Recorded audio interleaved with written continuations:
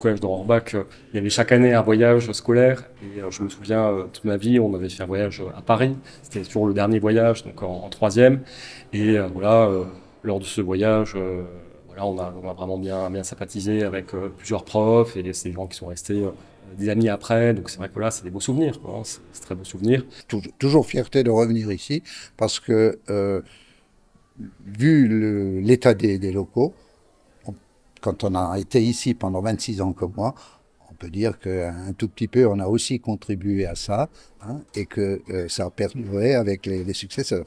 J'ai trouvé vraiment euh, des équipes très,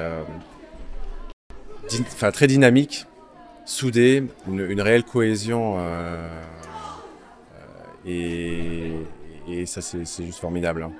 Ce qui me revient très spontanément, c'est l'engagement des équipes éducatives, leurs euh, compétences, leur implication, leur, leur souci d'aider les élèves du mieux possible, et puis des élèves, pour une très grande majorité, très sérieux.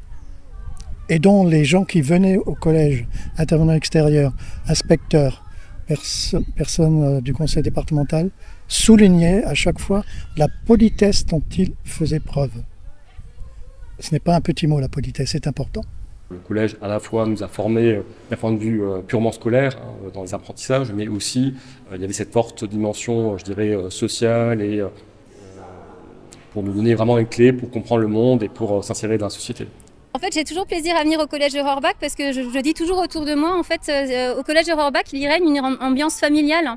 Euh, c'est même pas comparable avec peut-être certains collèges urbains euh, où tout le monde ne se connaît pas. Là, c'est vraiment une ambiance familiale qu'on retrouve. On la retrouve à la cantine. on dit du collège de Rohrbach que c'est la meilleure cantine de Moselle. c'est sûr, au départ, on n'avait pas beaucoup de matériel. Donc on était un peu coincé au niveau des, menus, on ne pouvait pas faire ce qu'on voulait.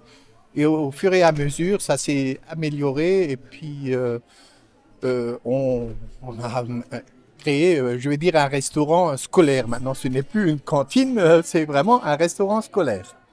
J'ai vécu toute l'évolution, hein, parce qu'au départ, c'était très strict. bon, on n'avait qu'un bon, menu, qu'une entrée, c'était très strict par contre, après, on a évolué, on, a, on avait le choix au niveau des entrées, au niveau des desserts.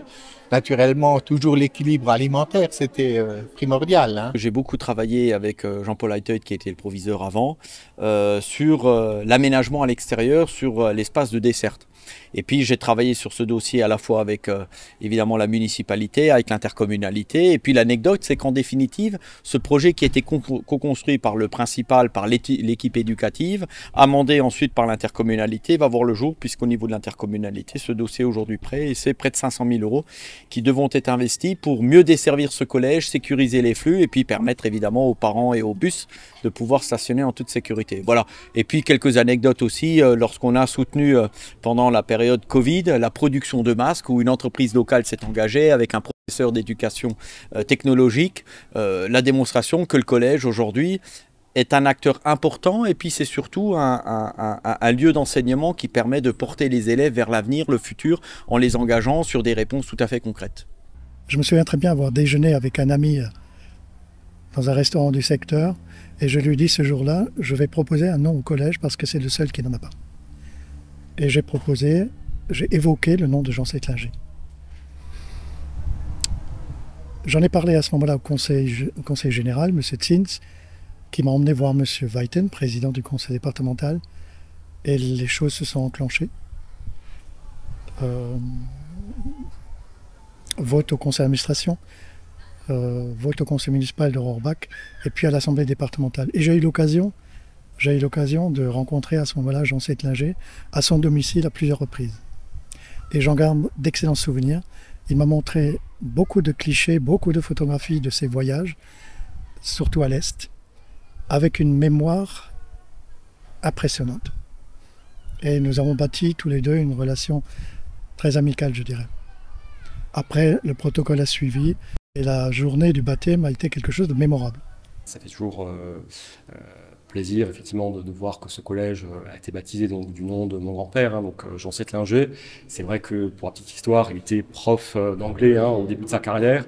Pour lui, ça me tenait vraiment à cœur que ce collège porte ce nom et ça lui a fait extrêmement plaisir que ce collège soit baptisé de, de son nom. En 98, je peux me tromper d'une année, il y a eu une tempête de neige, mais alors quelque chose de, mémorable.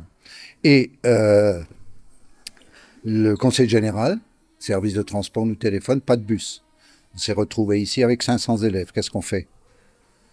Donc, on les a d'abord rassemblés dans le réfectoire. Je parle de ceux qui étaient euh, hors Rohrbach. Hein. On leur a donné des, biscuits secs, des madeleines, on leur a fait un truc chaud. Et après, avec les autres, bah, il fallait faire quelque chose. Donc, il y a des élèves de Rohrbach qui ont emmené des copains chez eux. Il y a euh, monsieur euh, Denis euh, Jung, qui était l'ancien maire de gros qui est venu avec son 4x4, qui a fait des allers-retours, il a fait taxi. Et alors, la, monsieur Brunner, qui était principal à l'époque, a emmené des, des jeunes chez eux.